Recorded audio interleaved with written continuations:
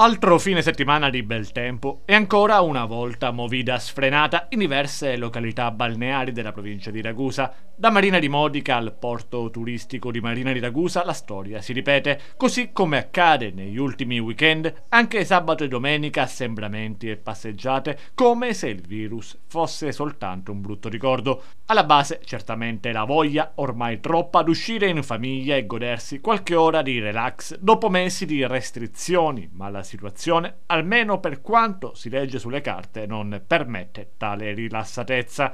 Ennesimo fine settimana dunque simile a una qualsiasi giornata ferragostiana con giovani, molti senza mascherina, a bivaccare e famiglie allargate a passeggio. Situazione al limite dell'immaginabile al porto turistico di Marina di Ragusa. Le foto parlano da sole, più che assembramenti, un affollamento durante il primo weekend di zona gialla Centinaia di persone ammassate, un'immagine sui social che ha il sapore di beffa per chi da mesi vive rinchiuso a casa con l'attività, vedi ristoranti, palestre, cinema, attività turistiche ed altri, costretti a rispettare i rigidi protocolli sanitari. I numeri, afferma Confimprese con il ragionamento dei sanitari, non consentono tale rilassatezza e dare il segnale di un'apertura generalizzata sarebbe distruttivo.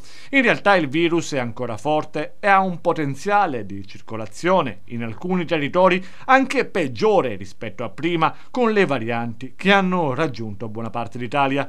Il direttivo di Confimprese Iblea è pronta a fare le barricate affinché le regole e le norme siano rispettate da tutti. Sono scene purtroppo già viste, denuncia il presidente provinciale di Confimprese Iblea, Pippo Chipinti. Non possiamo più tollerare comportamenti del genere che vanno a discapito di tutti. Le regole ci sono e vanno rispettate. Gli ingressi al porto, dove ahimè continua Chipinti, durante la scorsa estate si sono registrati gli identici problemi e nelle aree della Movida vanno controllati con un'azione sinergica da parte del territorio ci sono aspetti poco chiari, i ristoranti, la sera, le palestre e tante altre attività chiuse per evitare i contagi, aggiungono i componenti del direttivo territoriale di Confimprese e in giro sembra di essere a una festa patronale come nulla fosse. Siamo fiduciosi che il sindaco e il prefetto abbiano a cuore la salute della comunità.